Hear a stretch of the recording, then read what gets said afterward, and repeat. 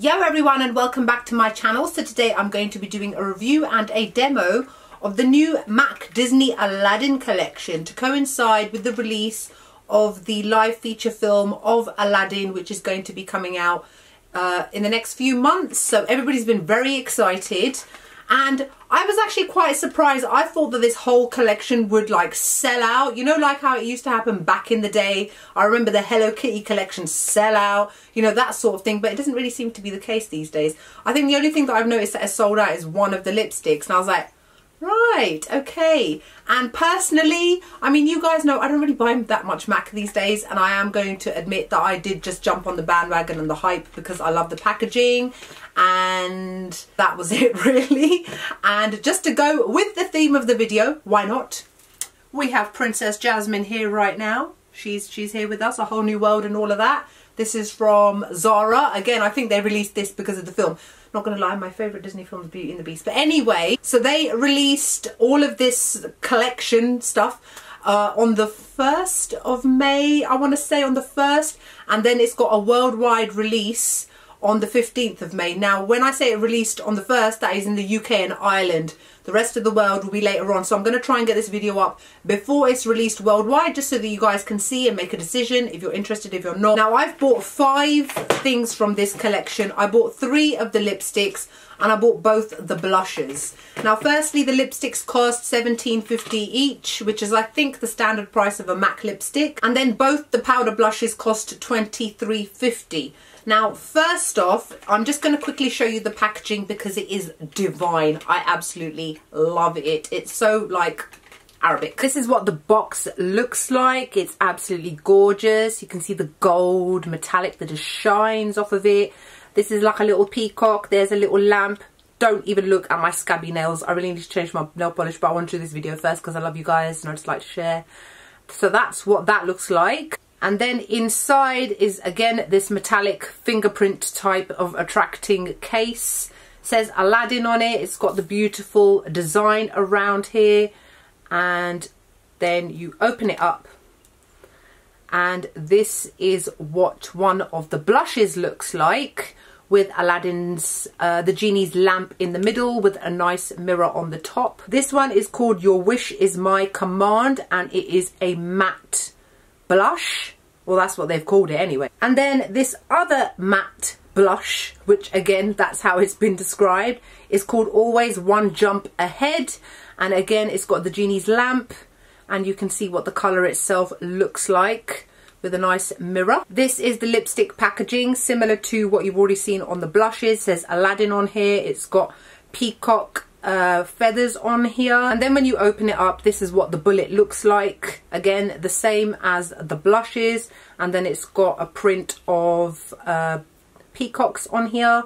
And then you open up the lipstick. This one here is called Princess Incognito. This one is called Rajah. And then this one is called A Whole New World. This is the one for some reason has managed to sell out. Not sure why it's not my favourite out of all three. Now, packaging and gorgeous designs aside, let's clarify some things first. Neither of these are blushes. I don't know why they've been called blushes. I don't know why they've been described as blushes. This is a bronzer and this is a highlighter. Neither of them are blushes. You could call a bronzer a blusher if you wanted to, but I'm being real in makeup terms, we would all call this a bronzer. It is completely matte and it's brown. Most people use this to contour their face, not necessarily as a blush. And this is quite clearly gold.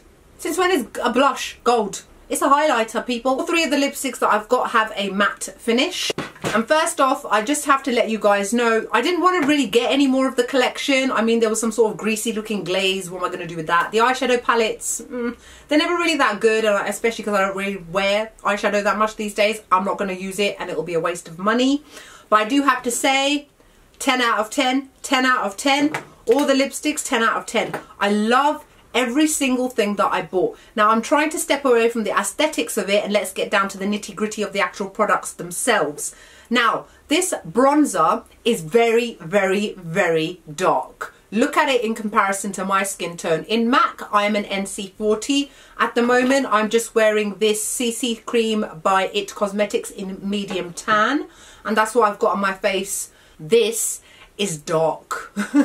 okay? When I first used it I was like oh my god I just had a big blotch of brown right here. Had to blend it out blend it out blend it out blend it out. It's a little bit powdery but not too much. It is packed in quite nicely. And I like that about products like this because it means there's less fallout there's less wastage and it will last you a lot longer as well. But this is a very deep brown shade if you've got very fair skin, don't even waste your money. You're wasting money, okay?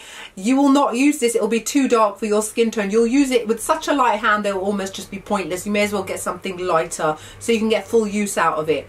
If you've got my skin tone, again, be wary. You need to go in with a very, very light hand. If you've got deeper skin than me, even then go in with a light hand. This has been described, to be fair, as a deep golden brown and that is 100% correct description for this. And I'm a little bit surprised that they came out with a highlighter and a bronzer but not a blush.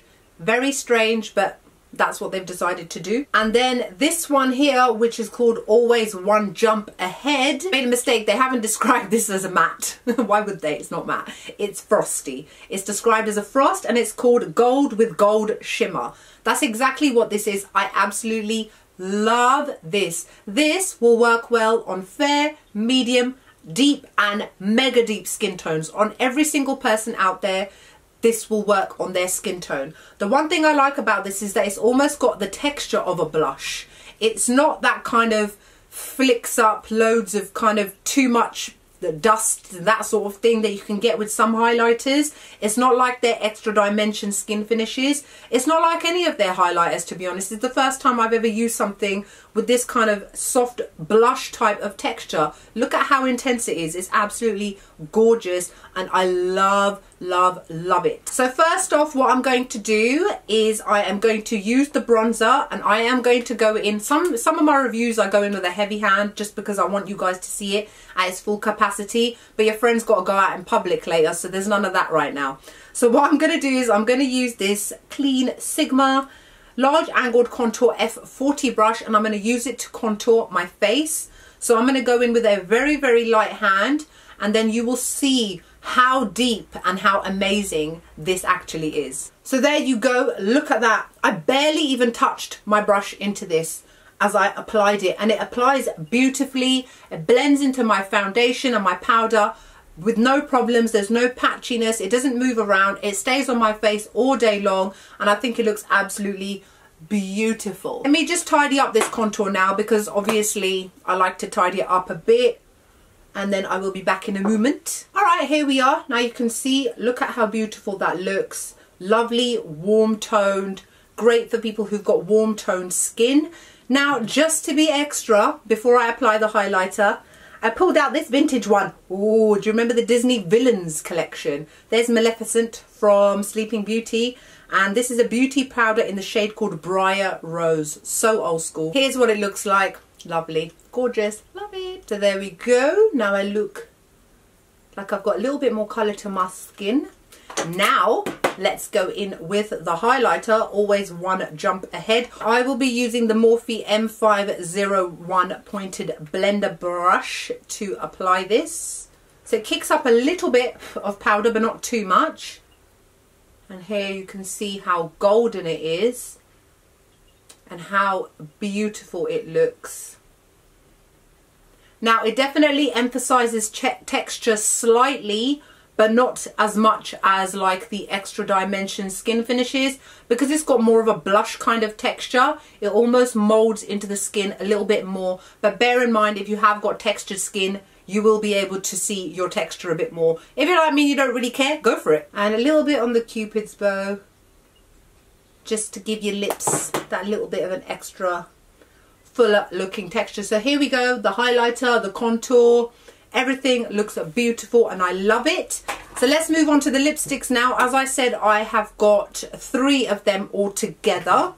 What I'm going to do is I'm going to swatch them on my hands first off, just so that you can see how they look very thick against my skin tone. And then I'm going to swatch them on my lips along with three recommended lip liners that I have decided go very nicely with these. So this first one here is called Princess Incognito. So this is a beautiful, a very neutral toned pinky sort of shade. I absolutely love it. It looked amazing against my skin tone as a very kind of everyday wear kind of lipstick and it has a matte finish. This next one is called Rajah, which is obviously named after Princess Jasmine's tiger.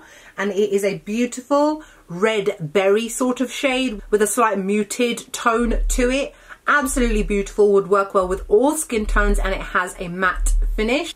And then last but not least is this shade called A Whole New World, which is obviously named after the very popular song from the film. It is a bright blue based pink and this finish is a little bit different. I've don't use MAC that much anymore. So this is something quite new to me. This is called a velvet matte finish. Now the only difference I can tell between the other two is that it's got a little bit more of a glossy look to it as you can see as the light shines off of it. Alright, let's move on to the lip swatches. So the first one I'm going to use is Princess Incognito and I paired this with Soar Lip Liner which is a beautiful warm toned pink and it works really nicely with the neutral tones of this shade to create one which is a lot more wearable for people who've got warm skin tones. So this is Princess Incognito. As you can see, is absolutely lovely. It really works nicely with Soar lip liner. It looks nice and natural and it's definitely something you can wear out during the day or to work or you can even deepen it up to wear it in the evening when you've got really kind of strong eyes and you want something quite natural on the lips this shade is definitely for you. Okay, so the next one I'm going to show you is called Rajah and the lip liner I'm using for this is called Half Red and this is what this looks like, of course, and it is named after Princess Jasmine's tiger. Okay, so this is Rajah, and as you can see, it's absolutely beautiful. Such a gorgeous berry tone colour. To be fair, it is very autumnal shade. However, this is not a seasonal collection. It's just for Aladdin. I don't remember how she wore a shade like this. But anyway, uh, this is what it looks like and I think it will go well with all skin tones. Okay, so the last one I'm going to show you now is this one called Whole New World and the lip liner I'm going to be using with it is MAC's Talking Points. They are both bright hot pink shades. Okay, and then this one is Whole New World. This one, like I said before, has got a velvet matte finish. It definitely feels a little bit different than the other two. This one has a more comfortable feel. Not that the other ones have an uncomfortable feel, but this one is definitely more of the like in between amplified and a matte. So maybe that's why they've called it a velvet matte because it's got a softer kind of texture on the lips. But I do have to say, overall, with all of these lipsticks, the wear time is absolutely excellent. When I wore Princess Incognito the other day to work, I literally put it on at 8 o'clock in the morning. 8 o'clock at night, it was still on my lips it hadn't needed to be touched up at all. If anything, it had faded a little bit, but what I like about these is that they fade very nicely. So even if you haven't had the chance to top it up, it still looks really nice on the lips. So overall, for this whole collection, I absolutely love the things that I've got, but definitely my favourites would have to be the highlighter and the bronzer. I absolutely love both of them. I'm sure I'll be getting a lot of use out of them. And then in regards to the lipsticks, if I really, really had to pick to say which one was my favourite, it's the one that I said earlier, this one, which is Princess Incognito. It's just the perfect kind of shade. This isn't something that everybody would wear all the time, but this is one that you would definitely get the most use out of. And I always like to put forward what is value for money. £17.50 for something you're going to wear now and then, maybe, but it's not a must-have. I would definitely say that these two are, uh, these three products are more must-haves than the others, but that's just my opinion. Um, that's it really. I hope you guys enjoyed the video. My earrings are also from Zara because we all know how these days Shahleena is like Zara obsessed. Um, other than that, I hope you guys are wonderful and great. If you've got any comments or questions about this collection, especially those of you that are outside of the UK and Ireland and you maybe need a little bit of guidance or advice on how some of these perform, ask me below and I will try and get back to you as soon as possible. And that's it. I hope you guys enjoy and I'll see you all soon. Bye.